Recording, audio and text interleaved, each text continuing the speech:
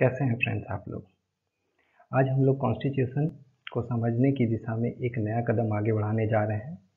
आज हम लोग समझेंगे ऑर्डिनेंस क्या होता है। आज हम इसे समझने की कोशिश करेंगे।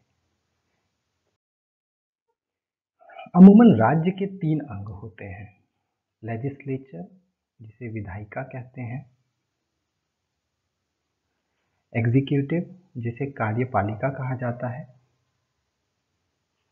और जुडिशरी जिसे न्यायपालिका कहते हैं। जहाँ विधायिका का काम है कानून बनाना, वहीं एग्जीक्यूटिव का काम है उस कानून को एग्जीक्यूट करना। वहीं न्यायपालिका क्या करती है? कानून के क्रियान्वयन में हुए विवादों का निपटारा करती है। किसी भी देश में जो एक रूल ऑफ़ लॉ के फ्रेमवर्क में कार्य करता है, अर्थात जहाँ देश कानूनों के आधार पर चलाया जाता है। हमारे देश में जैसे कॉन्स्टिट्यूशन एक सर्वोच्च संस्था है, सर्वोच्च विधि है, जिसके अंतर्गत हमारे देश का संचालन, देश का क्रियान्वयन होता है, देश के कार्यों का निपटारा किया जाता है। अब इसे समझने के लिए हमारे संविधान में दो भाग दिए गए हैं, भाग पाँच पार्ट फाइव जिसे द यूनियन कहा गया है, इसके अंतर्गत आर्टिकल बावन से एक सौ इक्यावन आते हैं। वहीं पार्ट सिक्स में राज्य का ज़िक्र किया गया है। अब आप जैसा कि देख सकते हैं, आर्टिकल पाँच में पाँच चैप्टर्स दिए गए हैं और आर्टिकल सिक्स में सिक्स चैप्टर्स हैं। अब आप देख सकते हैं जिसमें बावन से अठहत्तर और यहाँ एक सौ तिरपन से एक सौ सड़सठ, ये दोनों ही आर्टिकल एग्जीक्यूटिव को कवर करते हैं। इसके बाद का जो आर्टिकल है, वह संसद और राज्य विधायिका के बारे में ज़िक्र करता है। इसके बाद का जो आर्टिकल 123 है और 213 ये दोनों ही विधायी शक्तियों के बारे में ज़िक्र करते हैं, जो कि प्रेसिडेंट और गवर्नर को दिया गया है। सवाल यह उठता है कि आखिर यह विधायी शक्ति एक कार्यपालिका को क्यों सौंपा गया? इसे ही समझने का प्रयास करते हैं क्योंकि आज हम लोगों का मोटो ही आर्टिकल 123 और 213 को बिल्कुल ही डीप में समझना है और कॉन्स्टिट्यूशन के लैंग्वेज में समझना है, ताकि कोई भी गलती का कोई स्कोप ना रह जाए।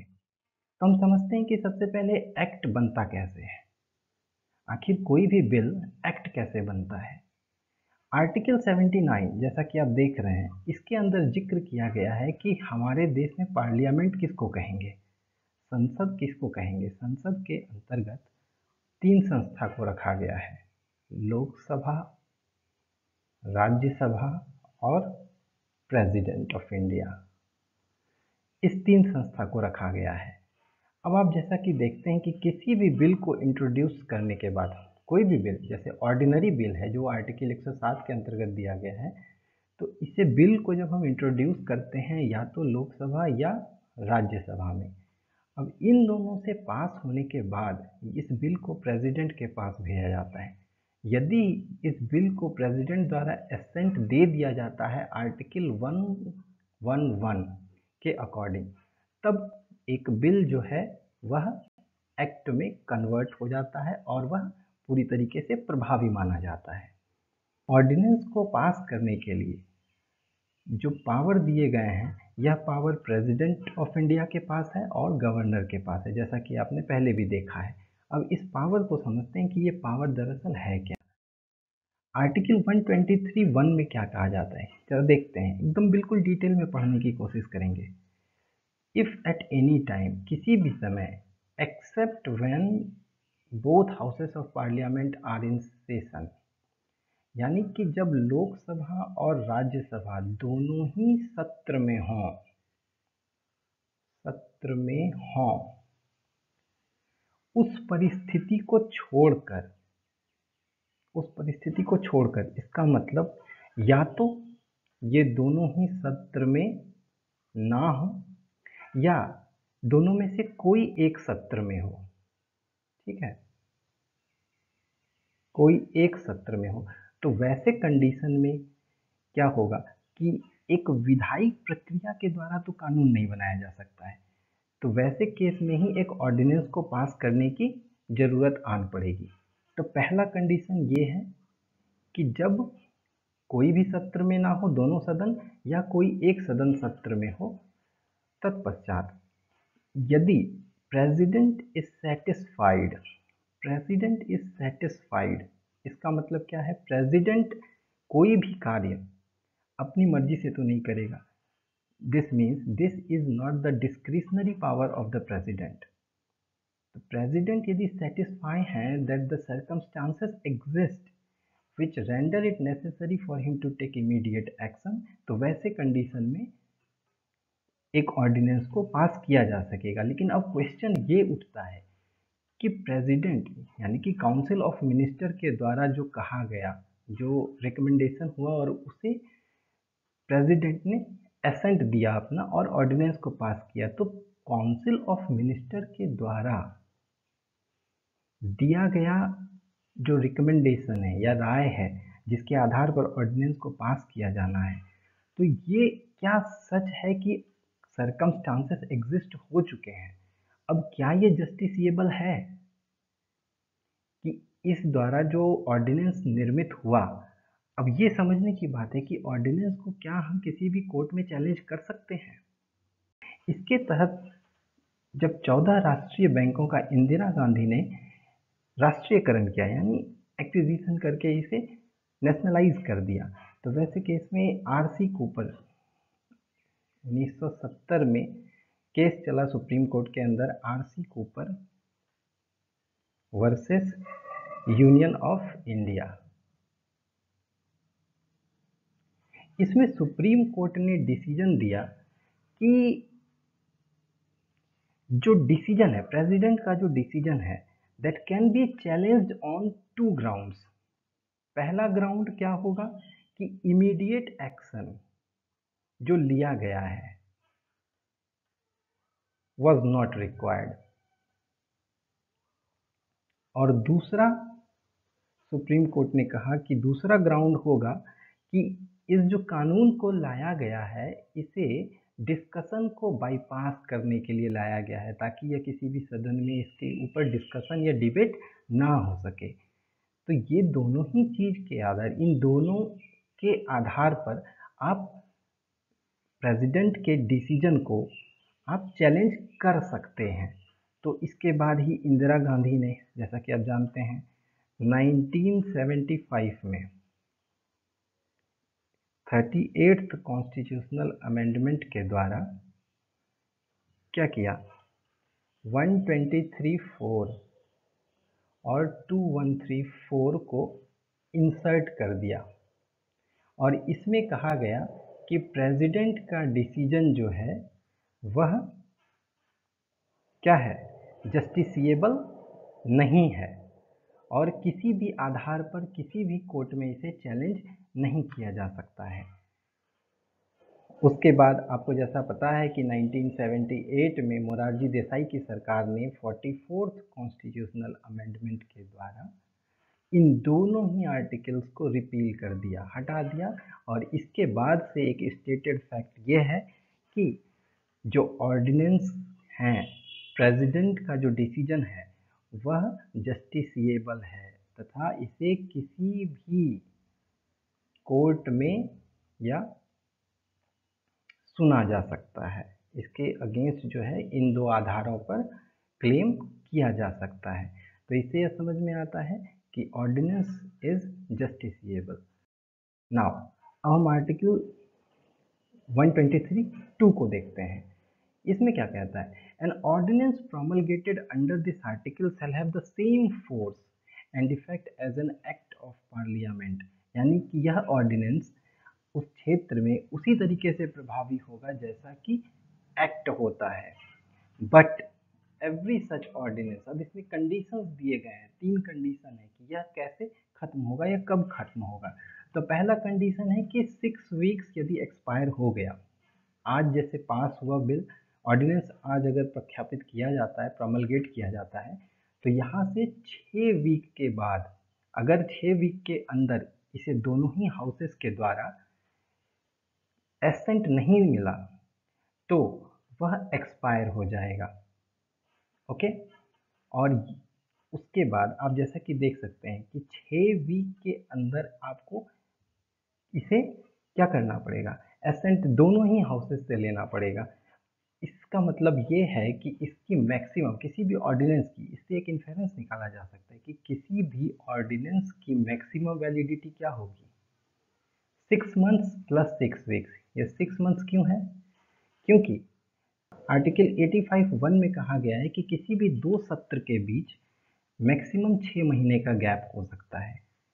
तो अगर मान लिया जाए दो, दोनों हाउसेस एक साथ बैठे हैं जब या रीअसेंबल हो रहे हैं, उसके बीच मैक्सिमम छः महीने का गैप हो सकता है तो छः महीने के बाद से छः वीक सिक्स वीक्स तो इन six months plus six weeks किसी भी ऑर्डिनेंस का एक मैक्सिमम पीरियड हो सकता है, मैक्सिमम वैलिडिटी हो सकती है। अभी इसके अंतर्गत आप एक चीज़ ये भी देख सकते हैं कि ये सिक्स वीक्स कब जोड़ा जाएगा? जब लास्ट जो दूसरा सदन होगा सपोज़ कि दोनों ही सदन डिफरेंट डेट्स में बैठते हैं तो जो दूसरा सदन जिस डेट में बैठेगा, वहाँ से सिक्स वीक्स का समय इनके लिए रिक्वायर्ड होगा। अगला कंडीशन इसमें दिया गया है if before the expiration of that period resolutions disapproving it यानी कि दोनों ही हाउसेस के द्वारा यदि ऐसे प्रस्ताव को पास कर दिया जाए, जो इसे डिसअप्रूव करते हैं ऐसे ऑर्डिनेंस को तो यह ऑर्डिनेंस अपने आप खत्म हो जाएगा। और तीसरी कंडीशन जैसे article two sub clauses B में दिया गया है कि प्रेसिडेंट जब चाहे इस ऑर्डिनेंस को विड्रॉ कर सकता है। इसके बाद 123 थ्री में हम देखते हैं कि if and so far as an ordinance under this article makes any provision which Parliament would not under this constitution be competent to enact it shall be void इसका मतलब कि केंद्र सरकार यूनियन लिस्ट और कॉन्करेंट लिस्ट इन दोनों list के subjects पर यदि बनाती है तो यह वैलिड होगा अदरवाइज़ इसे वॉइड कर दिया जाएगा। यह अर्थात इसके ज्यूरिस्डिक्शन के बारे में बताती है। अब इसके बाद हम कंपैरिजन करना, करने चाहेंगे कि दोनों ही जो प्रेसिडेंट का, अभी तक हमने देखा कि यूनियन के पास क्या क्या पावर है प्रेसिडेंट के पास लेजिस्लेटिव पावर्स क्या क्या हैं। अब सिमिलरली हम देखेंगे कि गवर्नर के पास क्या पावर है स्टेट में प्रोमलगेट करने के लिए एक ऑर्डिनेंस को। तो अब हम कंपैरिजन करते हैं और ये बहुत इजी होगा और ये इफ़ेक्टिव स्टडी होती है किसी भी चीज़ को समझने के लिए। अब ज़रा देखते हैं। इफ़ एट एनी टाइम जैसा कि आप आर्टिकल 123 में देख चुके हैं कि कंडीशन कब ये है, कब जारी, कब ऑर्डिनेंस को प्रख्यापित किया जाएगा और क्या कंडीशन होगा? अब सिमिलरली आप जब 213 में देखेंगे तो गवर्नर के पास सेम कंडीशन है। बस यहाँ आप देखेंगे कि ये कंडीशन है यूनिकैमरल की, जहाँ एक ही है विधानसभा है सपोज़ केवल विधानसभा है, एक सदन है। तो यूनिकैमरल जो फॉर्मेट है, वहाँ पर केवल जब legislative assembly of state is in session रहेगा, तब नहीं होगा। और वहीं अगर बाई कैमरल है मीन्स बाई कैमरल मीन्स जहाँ विधानसभा भी है और विधान परिषद भी है। यह कहाँ कहाँ है? यह सिक्स स्टेट्स में है। कहाँ? यूपी बिहार, कर्नाटक, महाराष्ट्र, आंध्र प्रदेश और तेलंगाना। ये छह स्टेट में विधान परिषद है। तो जहाँ बाई कैमरल है वहाँ जब दोनों ही सिटिंग में नहीं होंगे, सत्र में नहीं होंगे तो वैसे कंडीशन में गवर्नर प्रोमलगेट कर सकेगा। लेकिन यहाँ तीन कंडीशन है। ऐसे में यहाँ तीन कंडीशन बताया गया है कि गवर्नर इन तीन कंडीशन में ऑर्डिनेंस को प्रोमलगेट नहीं करेगा। जब उसे लगे कि राष्ट्रपति का प्रीवियस सैंक्शन प्रीवियस अनुमति, पूर्व अनुमति लेना ज़रूरी हो। दूसरा, जब राष्ट्रपति, जब गवर्नर को यह महसूस हो कि राष्ट्रपति का कंसिडरेशन लेना आवश्यक है। तो वैसे कंडीशन में उस ऑर्डिनेंस को वो पास नहीं करेगा। तीसरा कंडीशन ये बनता है कि जब वैसा बिल या वैसा ऑर्डिनेंस जो अदरवाइज़ अगर राष्ट्रपति से पहले ही अगर अनुमति ना ली जाए तो वैसे केस में वह इनवैलिड हो सकता है। तो वैसे कंडीशन में उस बिल को वो पास नहीं करेगा, यानी उस ऑर्डिनेंस को गवर्नर पास नहीं करेगा। The governor shall not promulgate such ordinance तो ये तीन कंडीशन आर्टिकल 213 में गवर्नर के अंदर जोड़ा गया है। गवर्नर की लेजिस्लेटिव शक्ति के अंदर जोड़ा गया है। ये जो चेक्स हैं, ये तीन चेक हैं। इसके बाद हम देखते हैं कि आर्टिकल 123 और 213 के क्लॉजेज टू में सेम कंडीशन है, बिल्कुल सेम इसके बाद आर्टिकल 213 में हम जाते हैं तो यहाँ पे जैसे कि यूनियन लिस्ट और कॉन्करेंट लिस्ट पर था, उसी तरीके से स्टेट जो है स्टेट लिस्ट पर बना सकता है. हाँ इसके साथ एक प्रोवाइडेड एक दिया गया है, जिसमें कहा गया है कि अगर स्टेट लिस्ट से बाहर अगर कुछ नियम या ऑर्डिनेंस लाना चाहती है सरकार, राज्य सरकार तो वैसे केस में राज्य सरकार को करना क्या होगा कि राष्ट्रपति से सबसे पहले अनुमति लेना होगा। यदि राष्ट्रपति ने एसेंट दे दिया है तो वह ऑर्डिनेंस जो है वैलिड होगा। बस यही कहा गया है।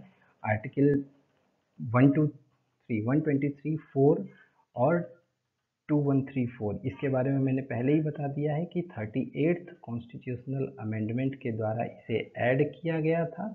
लेकिन फोर्टी फोर्थ कॉन्स्टिट्यूशनल अमेंडमेंट के द्वारा इसे हटा दिया जब सत्र जो है, दोनों ही सत्र, लोकसभा या राज्यसभा, दोनों सत्र में ना हो, एक साथ, और यहाँ पर विधानसभा अथवा विधानसभा या विधान परिषद एक साथ सत्र में ना हो, उस कंडीशन में लाया जा सकता है। सरकमस्टांसेस क्या हैं? जब प्रेसिडेंट को यह महसूस हो जाए कि यह ऐसी कंडीशन नेसेसरी हो गई है, वैसे केस में। और यहाँ तीन कंडीशन जैसा कि मैंने आपको तीन केसेस बता दिए हैं, उसके बाद क्या यह डिस्क्रिशनरी पावर है? नहीं। जस्टिसिएबल है? यस वैलिडिटी आपको पहले ही बताया जा चुका है सिक्स वीक्स इन्फेरेंस तो टोटल वैलिडिटी कितनी हो जाएगी? Six months plus six weeks उसके बाद आपको अगला बता ही दिया गया है कि जब दोनों ही सदन, यानी लोकसभा, राज्यसभा दोनों ही इसके, इसे डिसअप्रूव कर दें। और तीसरा है कि प्रेसिडेंट जब चाहे, इसे हटा सकता है। और जुरिस्डिक्शन इसका आपको मैंने बता दिया यूनियन लिस्ट कॉन्करेंट लिस्ट और यहाँ स्टेट लिस्ट ये है ऑर्डिनेंस के बारे में पूरी जानकारी. Thank you